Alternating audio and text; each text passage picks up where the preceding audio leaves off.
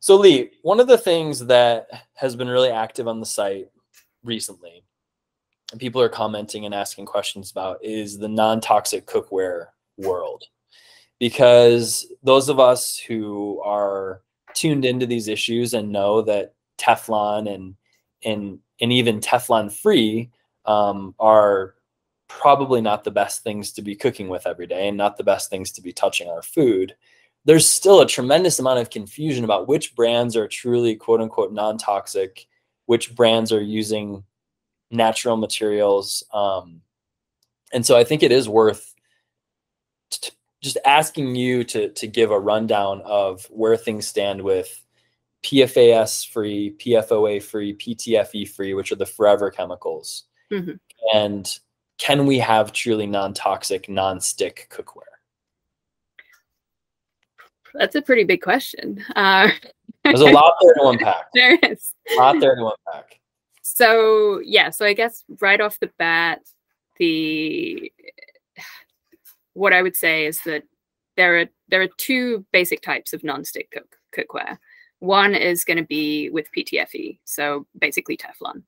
Um, whether it's called Teflon or whether it's called one of the other brand names, um, you know, take your pick. The other type of nonstick cookware is a ceramic coated metal uh, pan, and and that's it. If if anybody's trying to sell you something else that that says it's nonstick and it's not one of those two kinds, then they're misinformed or they're misinforming you. Um, you have a lot of other choices for cookware, obviously, but none of them are going to be really nonstick. Um, you can really well season cast iron, carbon steel, um, that kind of thing, and you can get pretty close to nonstick, but they're not actually nonstick. Okay, um, so let me let me stop you there. So going back and you saying that these brands are going to have PTFE because I've looked at some of some really nice brands, some really nice cookware brands that I think are trying to do right by their customers and are, and are conscientious, but they do have nonstick coatings that have PTFE. Yeah. PTFE, for the listener who's kind of just tuning in on this, is not the same as PFAS or PFOA. And my understanding is that PTFE is is relative to PFAS and PFOA benign. Is that how do you? it's benign in a sense. Um, it does start to break down after a certain temperature point, which is about 500 degrees. So you're not you're definitely not going to want to stick a non-stick pan that's made with PTFE in in your oven. Um, and even within a couple of minutes of heating a pan on the stove, um, say to like cook a steak, which obviously as a vegan I'm not doing, um, but say you were wanting to do that, um, a couple of minutes on on a burner, and you're getting up to that kind of temperature, and that's the point at which PTFE starts to degrade and break down and release chemicals into the indoor air. Um, it's also just an environmental problem because it is a forever chemical. So it it sticks around in the environment. It accumulates in aquatic or organisms, in fish, um, in and then goes all the way up the food chain. So it's yeah might feel benign, but it's it's not benign. It's well, yeah. relatively. What I was saying is like relatively benign, and the point that you make is is is excellent, which is that look, these chemicals break down when they're heated, and you're cooking on them. Yeah. Which is heating them. So over a period of time, and we don't know how long, it could be two, three months you know, if you get it up to a high temperature, like you're cooking a steak or you're cooking something on high heat, which most of us do, you know, regularly, yeah. you're breaking down the chemicals that make the pan non-stick. Yeah. And so that's why for me, I don't cook on anything that has, I mean, obviously no Teflon, obviously no old school Teflon. And that's why I, I personally, and I know you feel the same, won't buy anything that has PTFE. Yeah. Um, okay. So that's kind of stipulated. Um, so, so Teflon free is no good. Obviously, Teflon is no good, and you need to make sure that your cookware that you're buying, if you want it, if you're concerned about these issues, make sure that your cookware is PTFE free, which is a h- higher hurdle because a lot of stuff has PTFE in there that's non-stick. Yeah. Um, so just if I could just jump in too. Sure. Uh, so yeah, the the the big issue or the bigger issue with PTFE or with non-stick cookware previously was that it, it all contained PFOA, which is a substance that manufacturers would use to um, to get the PTFE to actually adhere to the pan. So what happened there is when you heat those pans, if they had PFOA used as part of the manufacturing process, that is what would off gas. And that was what caused a lot of the um, particularly egregious health issues associated with like Teflon flu, um, that kind of thing. And so now what we have is um, various regulations that help to make sure that cookware that's manufactured in the US doesn't have PFOA in. And so companies have started manufacturing and marketing their pans as PFOA free, which doesn't mean they're PTFE free, but it's it's sort of verging on greenwashing in that uh, in that sense that it implies quite strongly to a consumer that this pan is non-toxic when it's not. It's still got PTFE in. Yeah. If you're if you're cruising through the the aisle looking for cookware and you've got a million things on your mind and you've got a kid in the shopping cart and you're sort of like under the gun and it's on your to-do list to grab one of these products and you see PFOA free, a lot of people are just going to bite on that hook, line, and sinker and just grab that and bring that home, even Especially though they've slapped a big green leaf on there and uh, said it's eco-friendly, which obviously isn't a protected term. Yeah. Right. And and think that they're doing a good thing. Yeah. Um, yeah. Okay. So, so that that's a good start, but now it gets even murkier because you just wrote on the blog um, a long form article about this, and it prompted this this video interview. Um, there's been some controversy around even nonstick cookware brands that are 100% PTFE and forever chemical free. Yeah. And are using, as you mentioned at the beginning of this conversation, the ceramic nonstick coating. Yeah. But what I've come to learn by reading your writing is that you may be paying a small price for the convenience of any nonstick pan. Yeah, potentially. Um, maybe is the key word. Maybe, yeah. And yeah, the way the way that ceramic coated pans are um, are typically created is to use um, to use something called the sol gel process. So it's it's kind of taking elements of traditional ceramic and turning them into the solution that can be sprayed onto a metal like aluminium, um, and or, or uh, that the pan can actually be dipped in the solution and then it hardens. Um, it sort of it starts gelatinizing and and gets gets hard. And this process, it can be um, it can it can use pure elements that are non-toxic, but it can also be contaminated with other things. It, or a company could decide to use something like um, like titanium dioxide, for example, um, which isn't hasn't been proven to be harmful as part of this process. It doesn't necessarily leach out of a ceramic coated pan. We actually have test results that suggest that it doesn't. Um, but it's a yeah. fairly new process uh, when it comes to ceramic coating and the jury's still out on it a little bit.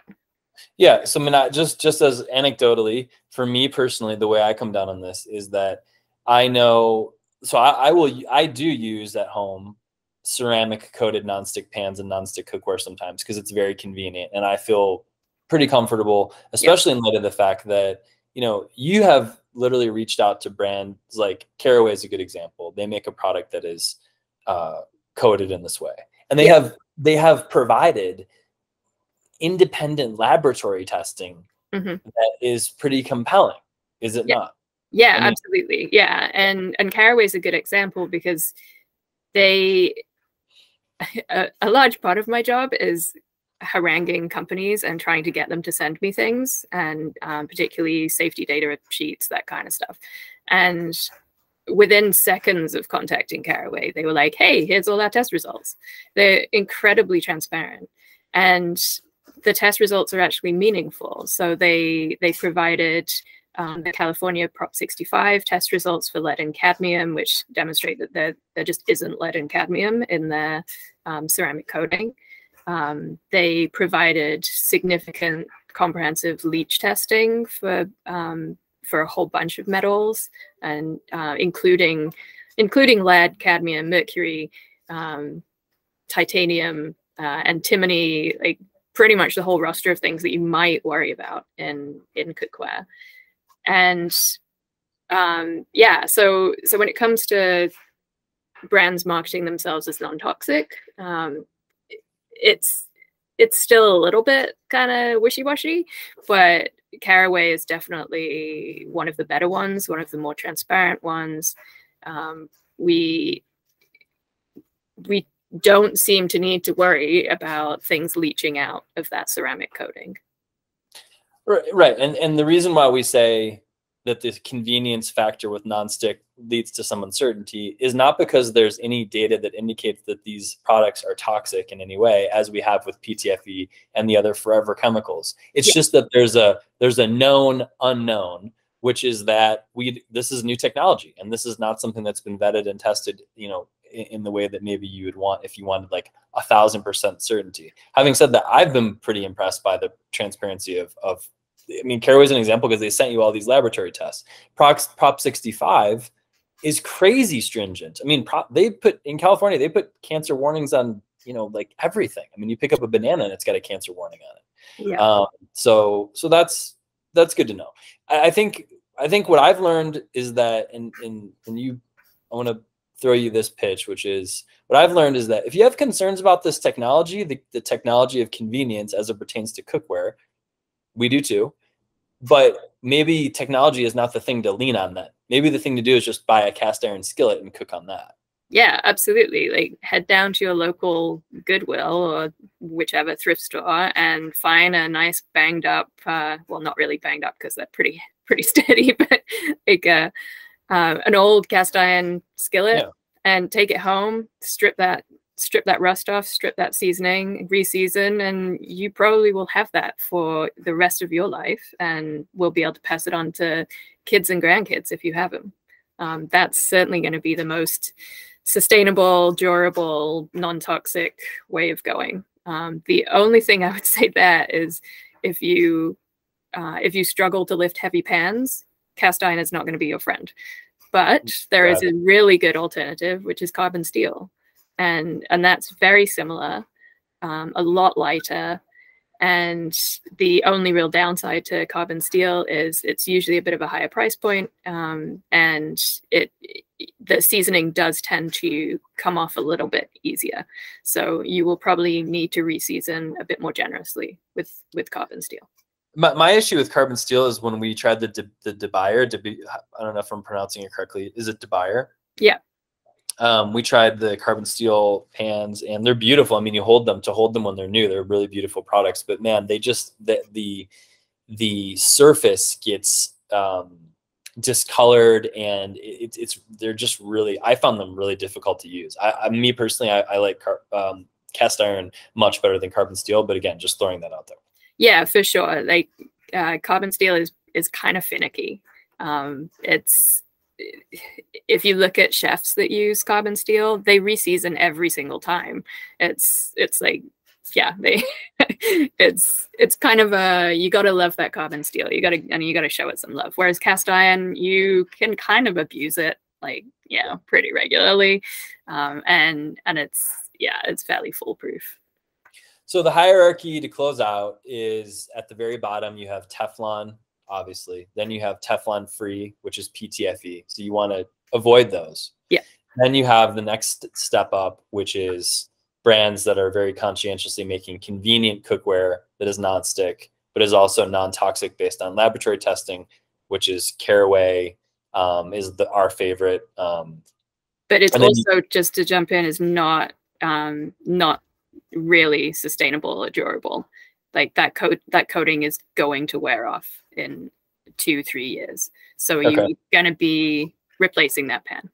That's a good thing to, to point out too. So it's, it's, it's, it's pretty good, but there are, there are better yeah. options. Now yeah. Uh, there's a, so uh, another thing to put in here in the, in this final ranking system is like for something like Xtrema, mm-hmm. I really like the ceramic cookware quite a bit. Yeah. Um, it looks beautiful aesthetically. I think it's probably falls under the durable category. Yeah. Very durable category.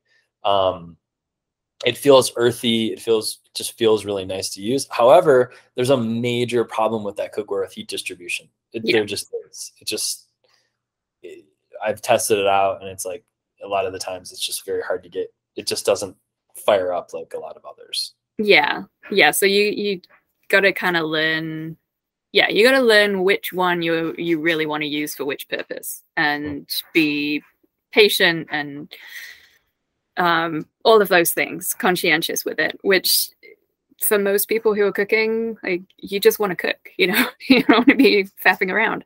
Um, so yeah, so the the thing the thing that's easiest to use and um, most durable, most eco-friendly, most non-toxic is going to be cast iron for most people. And it's also the cheapest. yeah, yeah, yeah, for sure, It's and nice. made in the U.S. Right? Yeah, cheap. Yeah, you could get a large cast iron skillet from almost any store, and it's like twenty bucks.